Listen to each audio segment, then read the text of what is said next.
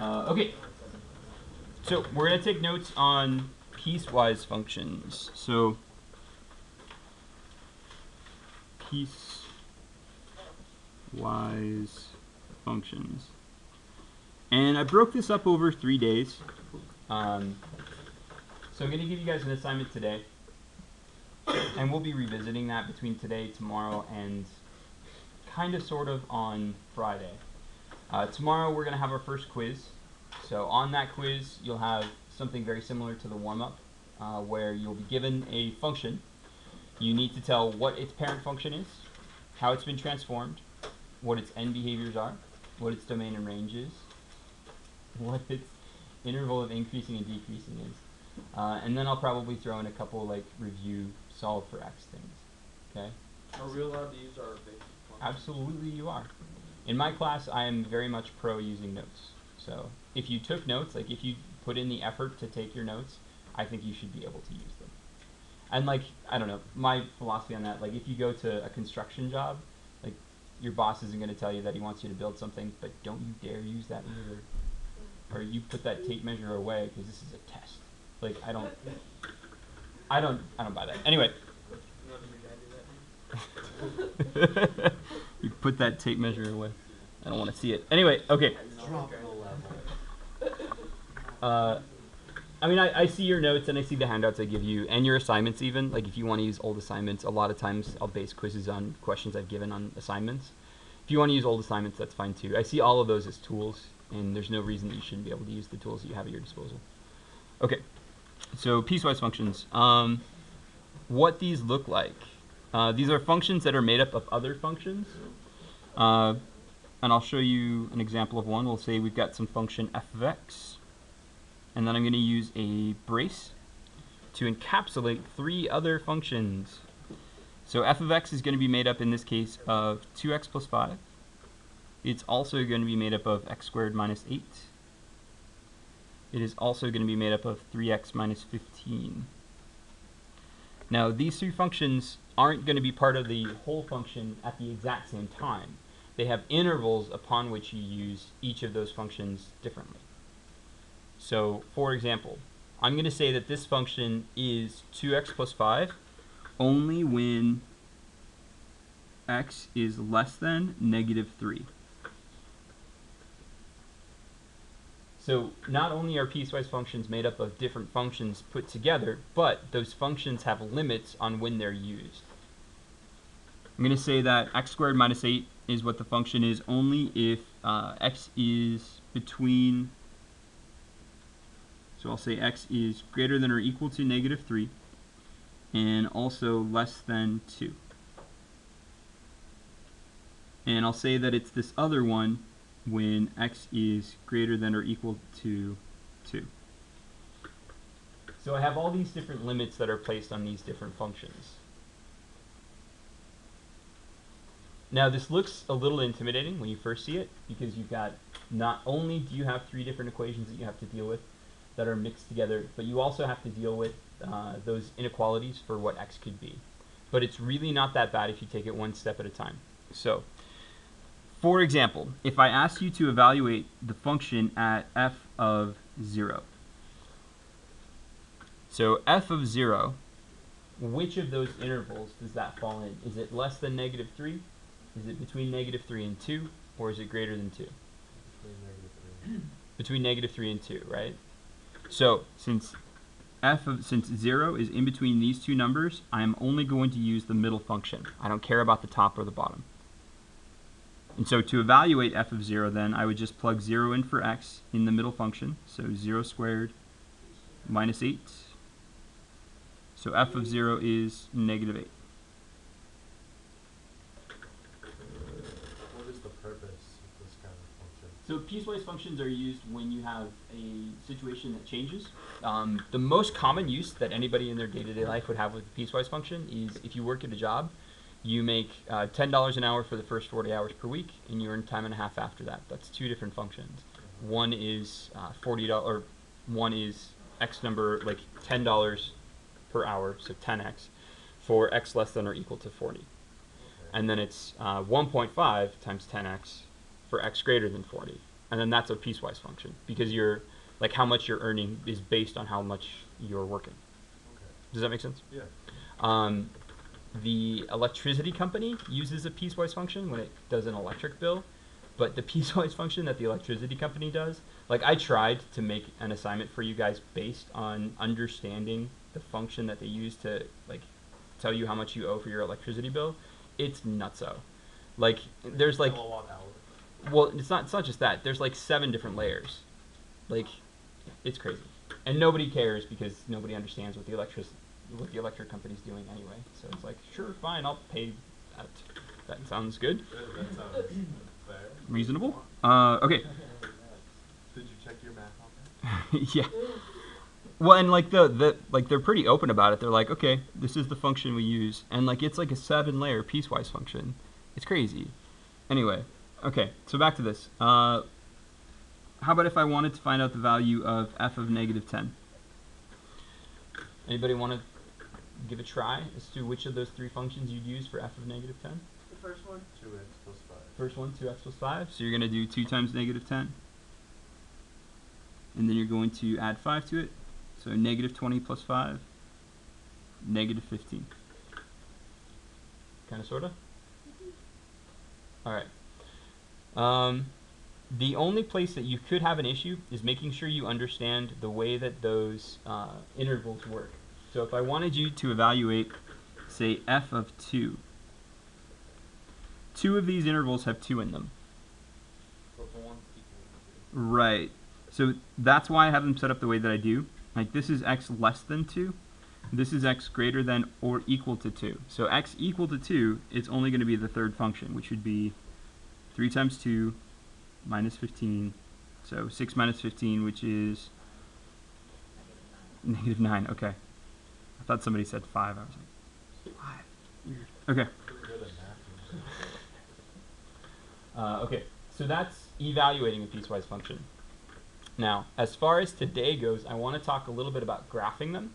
We'll get more into graphing them tomorrow, but when you're graphing a piecewise function, for now, I essentially just want you to use a table and then graph those tables. If you want to use your calculator to make your life easier, you can. And how you can do that is your calculator will graph up to like eight or nine different y's at the same time. So I'm going to go to my calculator here. I'm going to do uh, 2x plus 5 for my first function. I'm going to do x squared minus 8 for my second function. I'm going to do 3x minus 15 for my third function. And th- like I'm not going to do anything on this calculator that you couldn't just do by hand. So like if you want to do it by hand, more power to you. It's really not that much more difficult. Okay, now if I graph these, it's gonna look, I don't know, like a graph horror show. Like there's graphs everywhere. Oh no. But this, like, in order to come up with exactly what this piecewise function would look like as a graph, what I want to do instead of looking at the way the calculator is graphing those three functions is I want to go to the table function.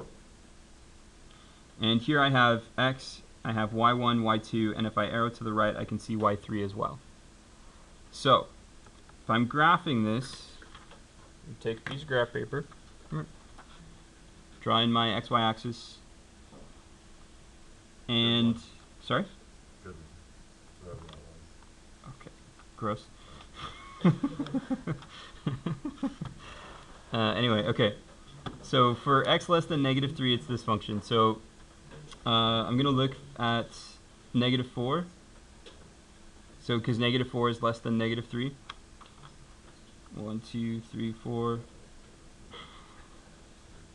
Worked. Two, three. Played Jade. Awesome. Okay.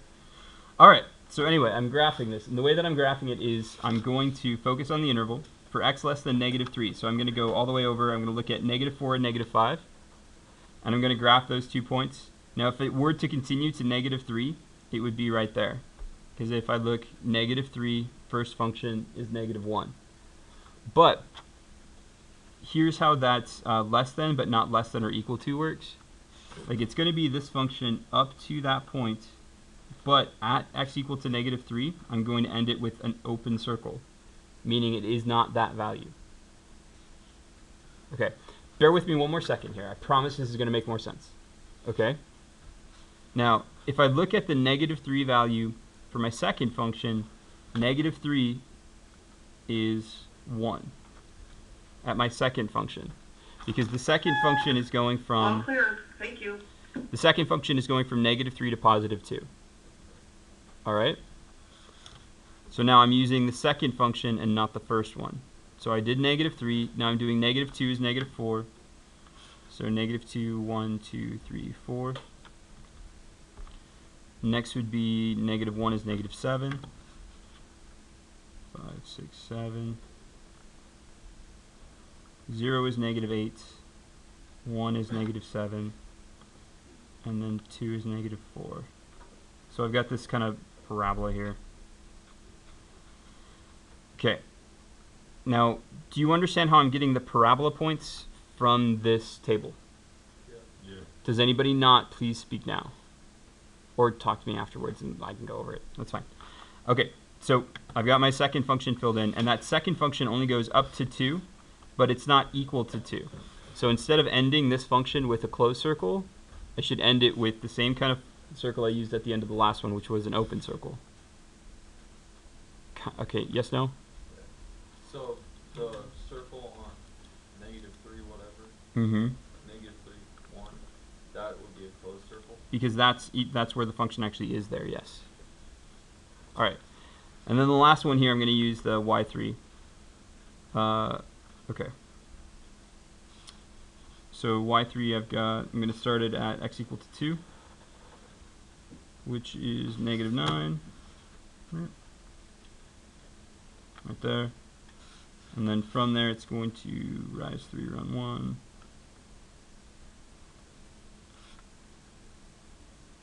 And there's the rest of the function. That looks funny. Uh, it does look funny. Okay, here's what we'll do. The first part of today's assignment has you just finding the values like you were doing before, using the function. The second part, you will have to graph exactly three of them. And then you will have to identify graphs from others. I want you to try questions 1 through 12 first. Those shouldn't be too bad. When you get to question 13 and 14, I want you to uh, use piece of graph paper for it. So if you have your own graph paper, that's great. If not, I have a bunch of it back there underneath the handed or handback folders. Um, when you get to 13 and 14, if you need help, please ask and I will go over it again. In fact, I might end up going over those on the board. But this is always like, I don't know, it's a weird thing to wrap your brain around if it's the first time you've seen it. So I want you to try 1 through 12 right now, please. Then when you get to 13 and 14, ask for help if you need it and I will try my best to help you. Uh, if oh, like everybody needs help, then we'll probably just go over at least one of them on the board. Kinda, sorta. Yes, no. Okay. Who knows? I don't know. You don't know. Uh, just a little bit about the way that one, two, or one through twelve is laid out is you've got the three different functions f, g, and h of x, and then you've got the different like so number one, you're using the f function. Number nine, you're using the h function. Okay. Give it a try. So three is just the answer, there's no, three or two is the answer for the first. So like number one, uh, f of two, two is greater than zero, so your answer is two.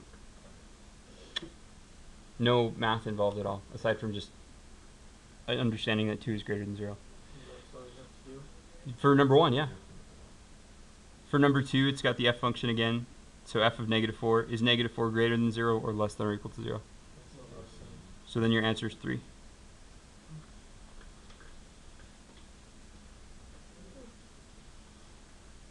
Okay.